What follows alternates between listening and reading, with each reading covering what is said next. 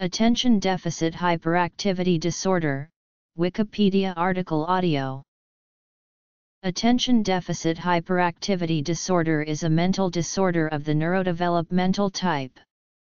It is characterized by problems paying attention, excessive activity, or difficulty controlling behavior which is not appropriate for a person's age.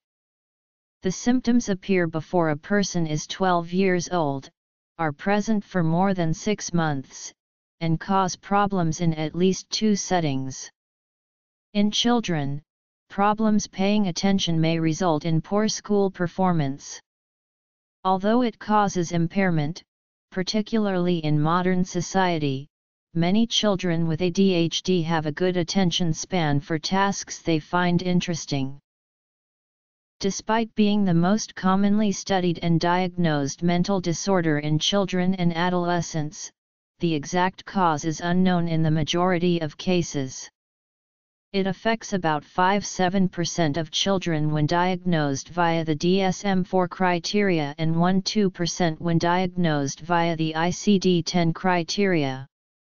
As of 2015 it is estimated to affect about 51.1 million people. Rates are similar between countries and depend mostly on how it is diagnosed. ADHD is diagnosed approximately three times more often in boys than in girls, although the disorder is often overlooked in girls due to their symptoms differing from those of boys. About 30-50% of people diagnosed in childhood continue to have symptoms into adulthood and between 2-5% of adults have the condition the condition can be difficult to tell apart from other disorders, as well as to distinguish from high levels of activity that are still within the normal range. Signs and symptoms Associated disorders ADHD management recommendations vary by country and usually involve some combination of counseling, lifestyle changes, and medications. The British guideline only recommends medications as a first-line treatment in children who have severe symptoms and for medication to be considered in those with moderate symptoms who either refuse or fail to improve with counseling, though for adults medications are a first-line treatment. Canadian and American guidelines recommend that medications and behavioral therapy be used together as a first-line therapy, except in preschool-aged children. Stimulant medication therapy is not recommended as a first-line therapy in preschool-aged children in either guideline. Treatment with stimulants is effective for up to 14 months, however, its long-term effectiveness is unclear. Adolescents and adults tend to develop coping skills which make up for some or all of their impairments. The medical literature has described symptoms similar to ADHD since the 19th century. ADHD, its diagnosis, and its treatment have been considered controversial since the 1970s. The controversies have involved clinicians, teachers, policymakers, parents, and the media. Topics include ADHD's causes and the use of stimulant medications in its treatment. Most healthcare providers accept ADHD as a genuine disorder in children and adults, and the debate in the scientific community mainly centers on how it is diagnosed and treated. The condition was officially known as attention deficit disorder from 1980 to 1987, while before this it was known as hyperkinetic reaction of childhood. Inattention, hyperactivity, disruptive behavior, and impulsivity are common in ADHD. Academic difficulties are frequent as are problems with relationships. The symptoms can be difficult to define, as it is hard to draw a line at where normal levels of inattention, hyperactivity, and impulsivity end and significant levels requiring interventions begin. According to the DSM-5, symptoms must be present for six months or more to a degree that is much greater than others of the same age and they must cause significant problems functioning in at least two settings. The full criteria must have been met prior to age 12 in order to receive a diagnosis of ADHD. ADHD is divided into three subtypes, predominantly inattentive, predominantly hyperactive impulsive, and combined type.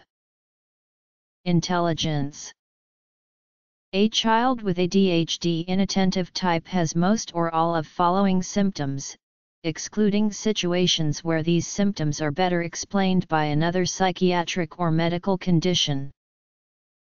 A child with ADHD hyperactive impulsive type has most or all of the following symptoms, excluding situations where these symptoms are better explained by another psychiatric or medical condition.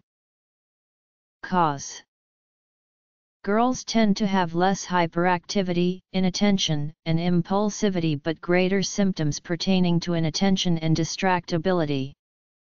Symptoms of hyperactivity tend to go away with age and turn into inner restlessness in teens and adults with ADHD.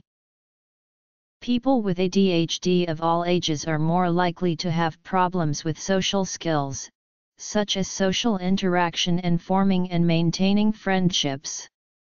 This is true for all subtypes.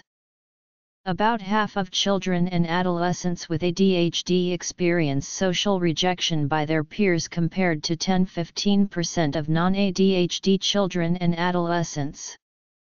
People with attention deficits are prone to having difficulty processing verbal and nonverbal language which can negatively affect social interaction. They also may drift off during conversations, miss social cues, and have trouble learning social skills. Difficulties managing anger are more common in children with ADHD as are poor handwriting and delays in speech, language, and motor development. Although it causes significant difficulty, many children with ADHD have an attention span equal to or better than that of other children for tasks and subjects they find interesting. Genetics In children, ADHD occurs with other disorders about 2-3 of the time. Some commonly associated conditions include Environment Overall, studies have shown that people with ADHD tend to have lower scores on intelligence quotient tests. The significance of this is controversial due to the differences between people with ADHD and the difficulty determining the influence of symptoms, such as distractibility, on lower scores rather than intellectual capacity. In studies of ADHD, Higher IQs may be overrepresented because many studies exclude individuals who have lower IQs despite those with ADHD scoring on average 9 points lower on standardized intelligence measures. Society Most ADHD cases are of unknown causes. It is believed to involve interactions between genetics, the environment, and social factors. Certain cases are related to previous infection of or trauma to the brain. Twin studies indicate that the disorder is often inherited from one's parents with genetics determining about 75% of cases. Siblings of children with ADHD are 3 to 4 times more likely to develop the disorder than siblings of children without the disorder. Genetic factors are also believed to be involved in determining whether ADHD persists into adulthood. Pathophysiology Typically, a number of genes are involved, many of which directly affect dopamine neurotransmission. Those involved with dopamine include DAT, DRD4, DRD5, TAAR1, MAOA, COMT, and DBH. Other genes associated with ADHD include SERT, HTR1B, SNAP25, GRIN2A, ADRA2A, TPH2, and BDNF. A common variant of a gene called LPHN3 is estimated to be responsible for about 9% of cases and when this variant is present, people are particularly responsive to stimulant medication. The 7-repeat variant of dopamine receptor D4 causes increased inhibitory effects induced by dopamine and is associated with ADHD.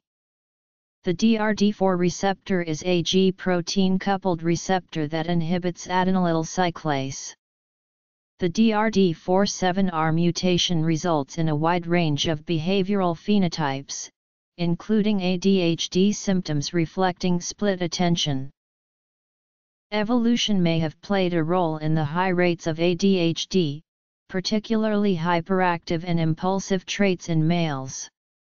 Some have hypothesized that some women may be more attracted to males who are risk takers, increasing the frequency of genes that predispose to hyperactivity and impulsivity in the gene pool. Others have claimed that these traits may be an adaptation that help males face stressful or dangerous environments with, for example, increased impulsivity and exploratory behavior. In certain situations, ADHD traits may have been beneficial to society as a whole even while being harmful to the individual. The high rates and heterogeneity of ADHD may have increased reproductive fitness and benefited society by adding diversity to the gene pool despite being detrimental to the individual. In certain environments, some ADHD traits may have offered personal advantages to individuals, such as quicker response to predators or superior hunting skills. People with Down syndrome are more likely to have ADHD. In addition to genetics, some environmental factors might play a role in causing ADHD. Alcohol intake during pregnancy can cause fetal alcohol spectrum disorders which can include ADHD or symptoms like it. Children exposed to certain toxic substances, such as lead or polychlorinated biphenyls, may develop problems which resemble ADHD. Exposure to the organophosphate insecticides chlorpyrifos and dialkyl phosphate is associated with an increased risk, however, the evidence is not conclusive. Exposure to tobacco smoke during pregnancy can cause problems with central nervous system development and can increase the risk of ADHD.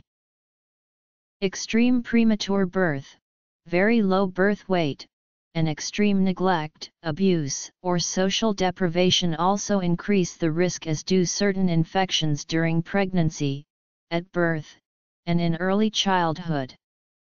These infections include, among others, various viruses.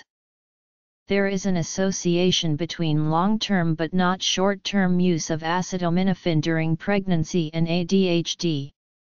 At least 30% of children with a traumatic brain injury later develop ADHD and about 5% of cases are due to brain damage. Brain structure Some studies suggest that in a small number of children, artificial food dyes or preservatives may be associated with an increased prevalence of ADHD or ADHD-like symptoms but the evidence is weak and may only apply to children with food sensitivities. The United Kingdom and the European Union have put in place regulatory measures based on these concerns. In a minority of children, intolerances or allergies to certain foods may worsen ADHD symptoms. Neurotransmitter pathways Research does not support popular beliefs that ADHD is caused by eating too much refined sugar, watching too much television, parenting, poverty or family chaos, however, they might worsen ADHD symptoms in certain people. Be easily distracted, miss details, forget things, and frequently switch from one activity to another, have difficulty maintaining focus on one task, become bored with a task after only a few minutes, unless doing something they find enjoyable, have difficulty focusing attention on organizing or completing a task, have trouble completing or turning in homework assignments, often losing things needed to complete tasks or activities, appear not to be listening when spoken to, daydream, become easily confused, and move slowly, have difficulty processing information as quickly and accurately as others, struggle to follow instructions, have trouble understanding details, overlooks details. In some cases, the diagnosis of ADHD may reflect a dysfunctional family or a poor educational system, rather than problems with the individual themselves. In other cases, it may be explained by increasing academic expectations, with the diagnosis being a method for parents in some countries to get extra financial and educational support for their child. The youngest children in a class have been found to be more likely to be diagnosed as having ADHD possibly due to their being developmentally behind their older classmates. Behaviors typical of ADHD occur more commonly in children who have experienced violence and emotional abuse. The social construct theory of ADHD suggests that because the boundaries between normal and abnormal behavior are socially constructed, it then follows that subjective valuations and judgments determine which diagnostic criteria are used and, thus, the number of people affected. This could lead to the situation where the DSM-4 arrives at levels of ADHD 3 to 4 times higher than those obtained with the ICD-10. Thomas Szasz, a supporter of this theory, has argued that ADHD was invented and then given a name. Fidget or squirm a great deal, talk non-stop, dash around, touching or playing with anything and everything in sight, have trouble sitting still during dinner, school, doing homework, and story time, be constantly in motion, have difficulty performing quiet tasks or activities, be impatient, blurt out inappropriate comments, show their emotions without restraint, and act without regard for consequences, have difficulty waiting for things they want or waiting their turn in games, often interrupt conversations or others activities. Current models of ADHD suggest that it is associated with functional impairments in some of the brain's neurotransmitter systems, particularly those involving dopamine and norepinephrine. The dopamine and norepinephrine pathways that originate in the ventral tegmental area and locus coeruleus project to diverse regions of the brain and govern a variety of cognitive processes. The dopamine pathways and norepinephrine pathways which project to the prefrontal cortex and striatum are directly responsible for modulating executive function, motivation, reward perception, and motor function. These pathways are known to play a central role in the pathophysiology of ADHD. Larger models of ADHD with additional pathways have been proposed. Executive function and motivation. Diagnosis Diagnostic and Statistical Manual International Classification of Diseases In children with ADHD, there is a general reduction of volume in certain brain structures, with a proportionally greater decrease in the volume in the left-sided prefrontal cortex. The posterior parietal cortex also shows thinning in ADHD individuals compared to controls. Other brain structures in the prefrontal striatal cerebellar and prefrontal striatal thalamic circuits have also been found to differ between people with and without ADHD. Learning disabilities have been found to occur in about 20-30% of children with ADHD. Learning disabilities can include developmental speech and language disorders and academic skills disorders. ADHD, however, is not considered a learning disability, but it very frequently causes academic difficulties.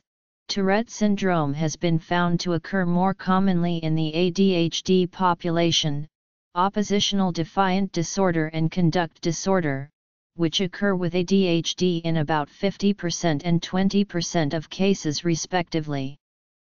They are characterized by antisocial behaviors such as stubbornness, aggression, frequent temper tantrums, deceitfulness, lying, and stealing. About half of those with hyperactivity and OD or CD develop antisocial personality disorder in adulthood. Brain imaging supports that conduct disorder and ADHD are separate conditions, primary disorder of vigilance, which is characterized by poor attention and concentration, as well as difficulties staying awake. These children tend to fidget, yawn and stretch and appear to be hyperactive in order to remain alert and active, Sluggish cognitive tempo is a cluster of symptoms that potentially comprises another attention disorder. It may occur in 30-50% of ADHD cases, regardless of the subtype, mood disorders. Boys diagnosed with the combined ADHD subtype are more likely to have a mood disorder. Adults with ADHD sometimes also have bipolar disorder, which requires careful assessment to accurately diagnose and treat both conditions. Anxiety disorders have been found to occur more commonly in the ADHD population. Obsessive compulsive disorder can CO occur with ADHD and shares many of its characteristics. Substance use disorders. Adolescents and adults with ADHD are at increased risk of substance abuse. This is most commonly seen with alcohol or cannabis. The reason for this may be an altered reward pathway in the brains of ADHD individuals. This makes the evaluation and treatment of ADHD more difficult, with serious substance misuse problems usually treated first due to their greater risks. Restless legs syndrome has been found to be more common in those with ADHD and is often due to iron deficiency anemia. However, restless legs can simply be a part of ADHD and requires careful assessment to differentiate between the two disorders. Sleep disorders and ADHD commonly coexist. They can also occur as a side effect of medications used to treat ADHD. In children with ADHD, insomnia is the most common sleep disorder with behavioral therapy the preferred treatment. Problems with sleep initiation are common among individuals with ADHD but often they will be deep sleepers and have significant difficulty getting up in the morning. Melatonin is sometimes used in children who have sleep onset insomnia, people with ADHD have an increased risk of persistent bedwetting. A 2016 systematic review found a well established association between ADHD and obesity, asthma, and sleep disorders, and tentative evidence for association with celiac disease and migraine, while another 2016 systematic review did not support a clear link between celiac disease and ADHD, and stated that routine screening for celiac disease in people with ADHD is discouraged. Previously it was thought that the elevated number of dopamine transporters in people with ADHD was part of the pathophysiology but it appears that the elevated numbers are due to adaptation to exposure to stimulants. Current models involve the mesocortical limbic dopamine pathway and the locus coeruleus noradrenergic system. ADHD psychostimulants possess treatment efficacy because they increase neurotransmitter activity in these systems. There may additionally be abnormalities in serotoninergic, glutamatergic, or cholinergic pathways. The symptoms of ADHD arise from a deficiency in certain executive functions. Executive functions are a set of cognitive processes that are required to successfully select and monitor behaviors that facilitate the attainment of one's chosen goals. The executive function impairments that occur in ADHD individuals result in problems with staying organized, timekeeping, excessive procrastination, maintaining concentration, paying attention, ignoring distractions, regulating emotions, and remembering details. People with ADHD appear to have unimpaired long-term memory, and deficits in long-term recall appear to be attributed to impairments in working memory. The criteria for an executive function deficit are met in 30-50% of children and adolescents with ADHD. One study found that 80% of individuals with ADHD were impaired in at least one executive function task, compared to 50% for individuals without ADHD. Due to the rates of brain maturation and the increasing demands for executive control as a person gets older, ADHD impairments may not fully manifest themselves until adolescence or even early adulthood. ADHD has also been associated with motivational deficits in children. Children with ADHD often find it difficult to focus on long-term over short-term rewards, and exhibit impulsive behavior for short-term rewards. ADHD is diagnosed by an assessment of a child's behavioral and mental development, including ruling out the effects of drugs, medications, and other medical or psychiatric problems as explanations for the symptoms. It often takes into account feedback from parents and teachers with most diagnoses begun after a teacher raises concerns. It may be viewed as the extreme end of one or more continuous human traits found in all people. Whether someone responds to medications does not confirm or rule out the diagnosis.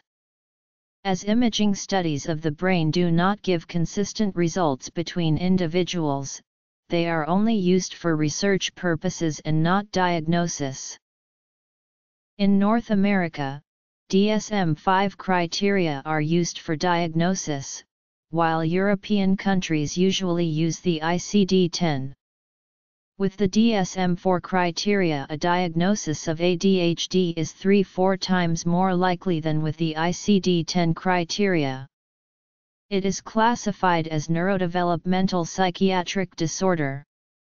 Additionally, it is classified as a disruptive behavior disorder along with oppositional defiant disorder, conduct disorder, and antisocial personality disorder. A diagnosis does not imply a neurological disorder. Associated conditions that should be screened for include anxiety, depression, oppositional defiant disorder, conduct disorder, and learning and language disorders. Other conditions that should be considered are other neurodevelopmental disorders, tics, and sleep apnea. Adults Diagnosis of ADHD using quantitative electroencephalography is an ongoing area of investigation, although the value of QEEG in ADHD is currently unclear. In the United States, the Food and Drug Administration has approved the use of QEEG to evaluate the morbidity of ADHD. Self-rating scales, such as the ADHD Rating Scale and the Vanderbilt ADHD Diagnostic Rating Scale are used in the screening and evaluation of ADHD. As with many other psychiatric disorders, formal diagnosis should be made by a qualified professional based on a set number of criteria. In the United States, these criteria are defined by the American Psychiatric Association in the DSM. Based on the DSM criteria, there are three subtypes of ADHD. Differential diagnosis Biomarker research Management This subdivision is based on presence of at least 6 out of 9 long-term symptoms of inattention, hyperactivity impulsivity, or both. To be considered, the symptoms must have appeared by the age of 6 to 12 and occur in more than one environment. The symptoms must be not appropriate for a child of that age and there must be evidence that it is causing social, school or work-related problems. In the ICD-10 by the World Health Organization, the symptoms of hyperkinetic disorder are analogous to ADHD in the DSM-5. When a conduct disorder is present, the condition is referred to as hyperkinetic conduct disorder. Otherwise, the disorder is classified as disturbance of activity and attention, other hyperkinetic disorders or hyperkinetic disorders, unspecified. The latter is sometimes referred to as hyperkinetic syndrome. In the preliminary draft for ICD-11, ADHD is classified under 6A42 and everything seems to be fully identical now to DSM-5. Adults with ADHD are diagnosed under the same criteria, including that their signs must have been present by the age of 6 to 12. Questioning parents or guardians as to how the person behaved and developed as a child may form part of the assessment. A family history of ADHD also adds weight to a diagnosis.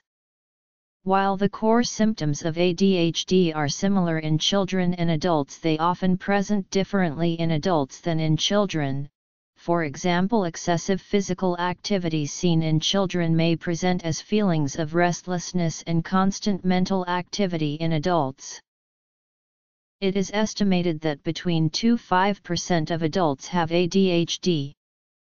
Around 25-50% of children with ADHD continue to experience ADHD symptoms into adulthood, while the rest experiences fewer or no symptoms.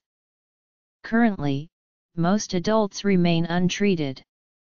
Many adults with ADHD without diagnosis and treatment have a disorganized life and some use non-prescribed drugs or alcohol as a coping mechanism.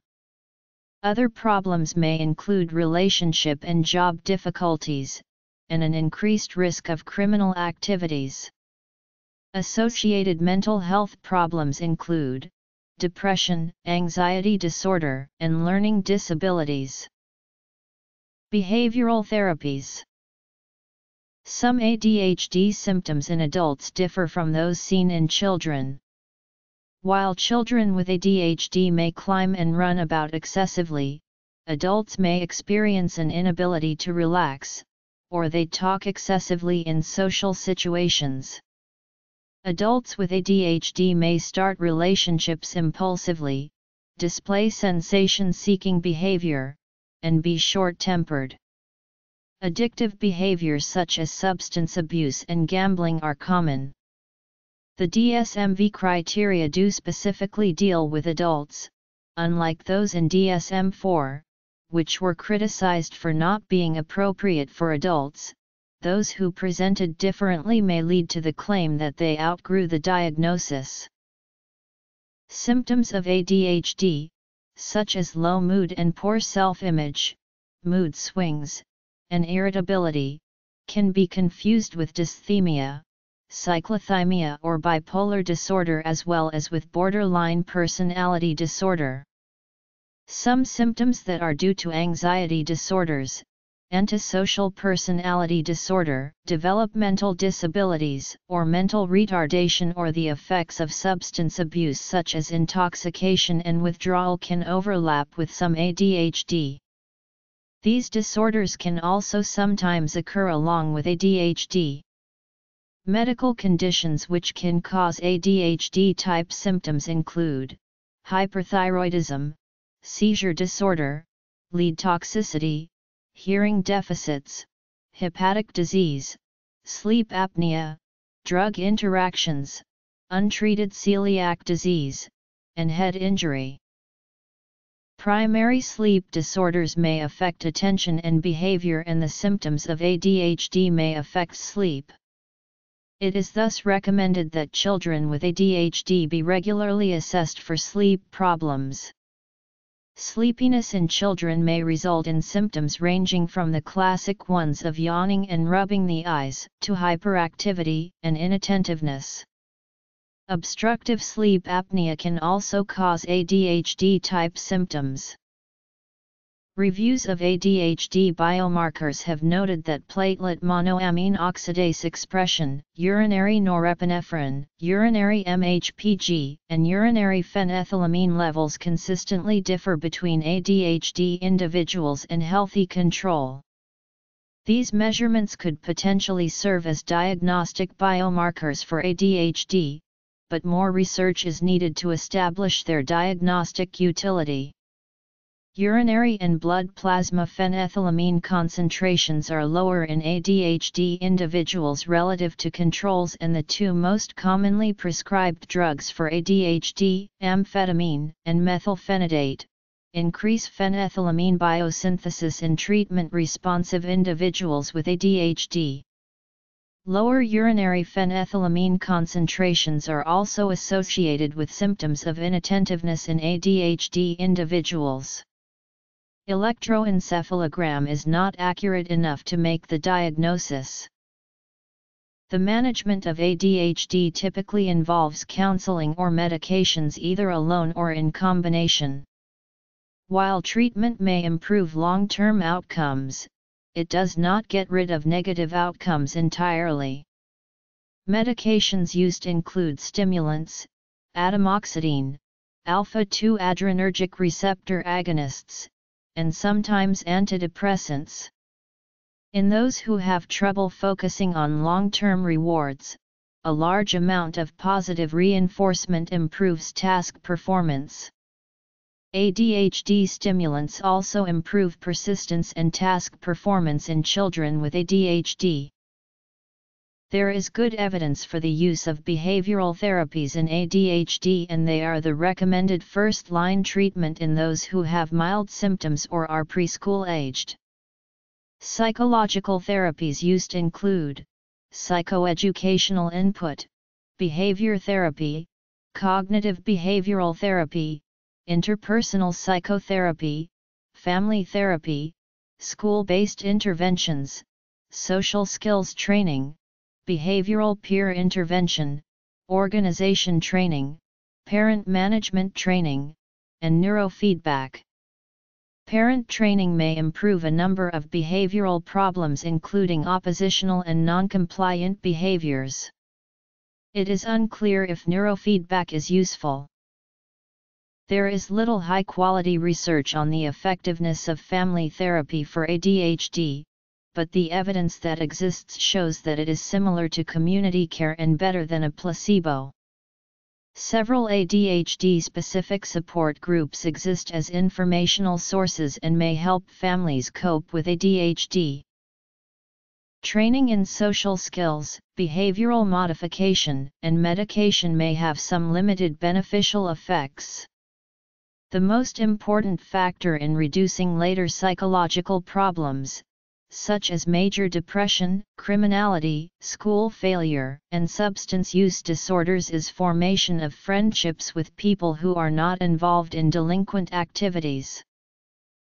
Regular physical exercise, particularly aerobic exercise, is an effective add-on treatment for ADHD in children and adults, particularly when combined with stimulant medication, although the best intensity and type of aerobic exercise for improving symptoms are not currently known. In particular, the long-term effects of regular aerobic exercise in ADHD individuals include better behavior and motor abilities, improved executive functions, faster information processing speed, and better memory.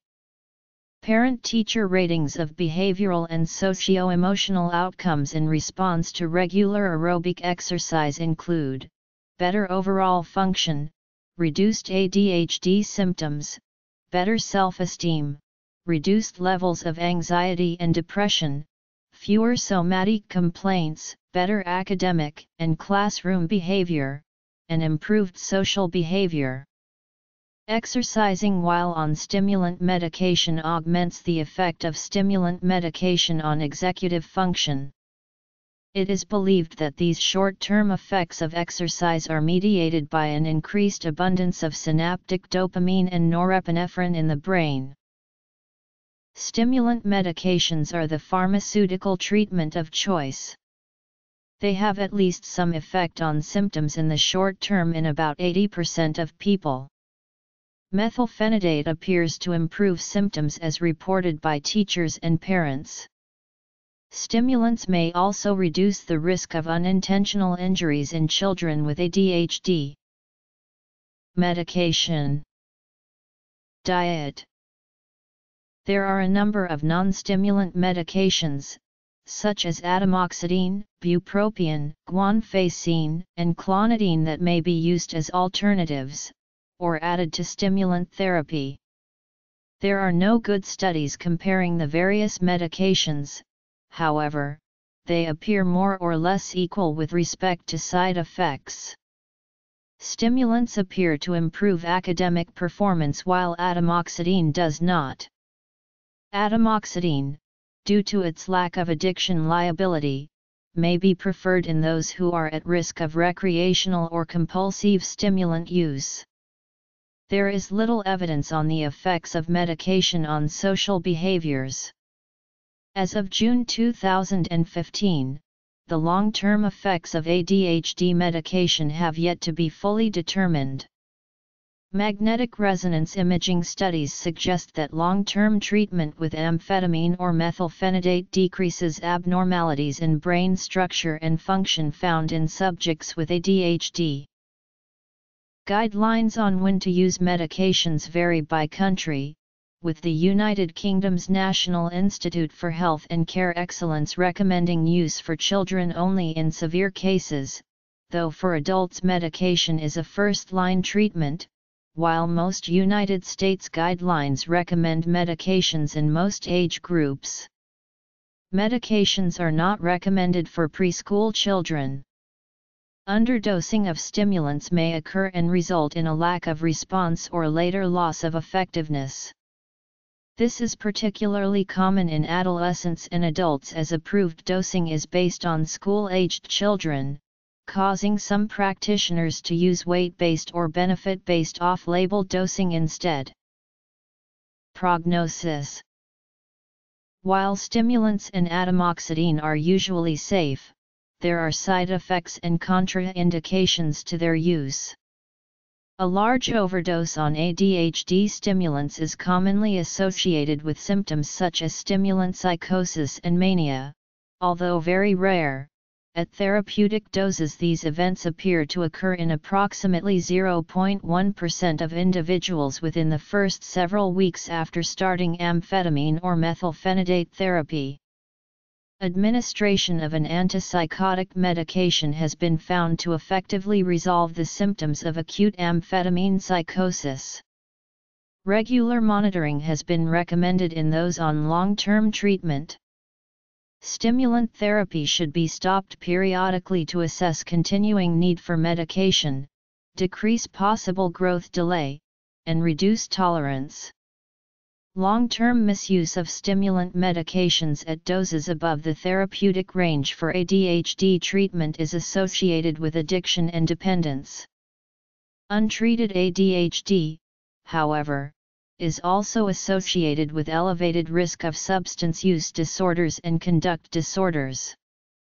The use of stimulants appears to either reduce this risk or have no effect on it. The safety of these medications in pregnancy is unclear. Epidemiology History Society and culture Dietary modifications may be of benefit to a small proportion of children with ADHD.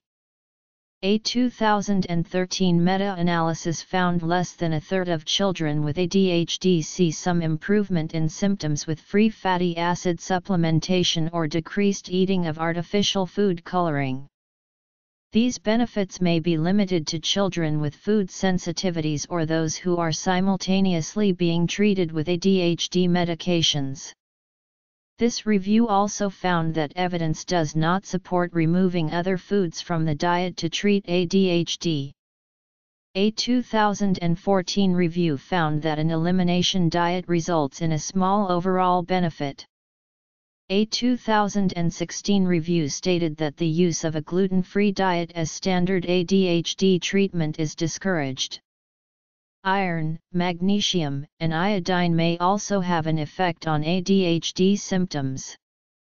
There is a small amount of evidence that lower tissue zinc levels may be associated with ADHD.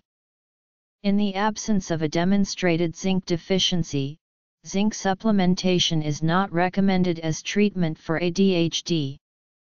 However, zinc supplementation may reduce the minimum effective dose of amphetamine when it is used with amphetamine for the treatment of ADHD. There is evidence of a modest benefit of omega-3 fatty acid supplementation, but it is not recommended in place of traditional medication. An eight-year follow-up of children diagnosed with ADHD found that they often have difficulties in adolescence, regardless of treatment or lack thereof. In the USA, fewer than 5% of individuals with ADHD get a college degree, compared to 28% of the general population aged 25 years and older. The proportion of children meeting criteria for ADHD drops by about half in the three years following the diagnosis and this occurs regardless of treatments used. ADHD persists into adulthood in about 30-50% of cases. Those affected are likely to develop coping mechanisms as they mature, thus compensating to some extent for their previous symptoms. Children with ADHD have a higher risk of unintentional injuries, and greater mortality rates. ADHD is estimated to affect about 6-7% of people aged 18 and under when diagnosed via the DSM-4 criteria. When diagnosed via the ICD-10 criteria rates in this age group are estimated at 1-2%. Children in North America appear to have a higher rate of ADHD than children in Africa and the Middle East, this is believed to be due to differing methods of diagnosis rather than a difference in underlying frequency. If the same diagnostic methods are used, the rates are more or less the same between countries. It is diagnosed approximately three times more often in boys than in girls. This difference between sexes may reflect either a difference in susceptibility or that females with ADHD are less likely to be diagnosed than males. Rates of diagnosis and treatment have increased in both the United Kingdom and the United States since the 1970s. This is believed to be primarily due to changes in how the condition is diagnosed and how readily people are willing to treat it with medications rather than a true change in how common the condition is. It is believed that changes to the diagnostic criteria in 2013 with the release of the DSM-5 will increase the percentage of people diagnosed with ADHD, especially among adults. Hyperactivity has long been part of the human condition. Sir Alexander Crichton describes mental restlessness in his book An Inquiry into the Nature and Origin of Mental Derangement written in 1798. ADHD was first clearly described by George Still in 1902. The terminology used to describe the condition has changed over time and has included, in the DSM-I minimal brain dysfunction, in the DSM-2 hyperkinetic reaction of childhood, and in the DSM-3 attention deficit disorder with or without hyperactivity. In 1987 this was changed to ADHD in the DSM-3R and the DSM-4 in 1994 split the diagnosis into three subtypes, ADHD inattentive type, ADHD hyperactive impulsive type and ADHD combined type.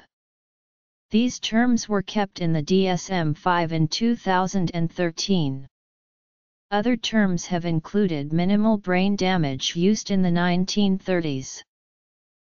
The use of stimulants to treat ADHD was first described in 1937. In 1934, Benzedrine became the first amphetamine medication approved for use in the United States.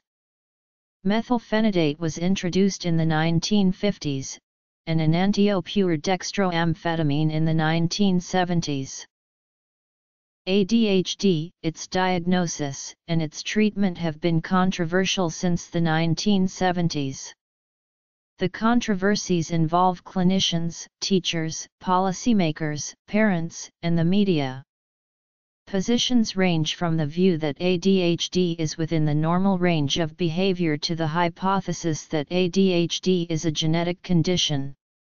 Other areas of controversy include the use of stimulant medications in children, the method of diagnosis, and the possibility of overdiagnosis.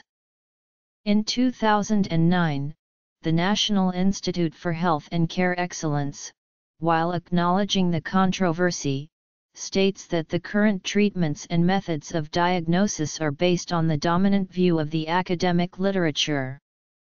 In 2014, Keith Conners, one of the early advocates for recognition of the disorder, spoke out against overdiagnosis in a New York Times article.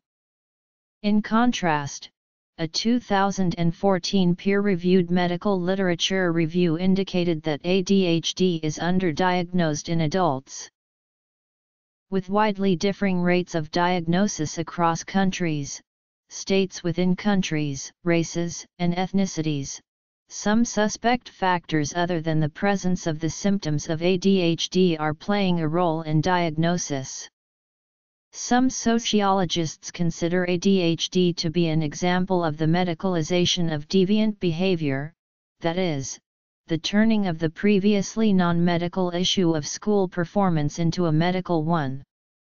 Most healthcare providers accept ADHD as a genuine disorder, at least in the small number of people with severe symptoms.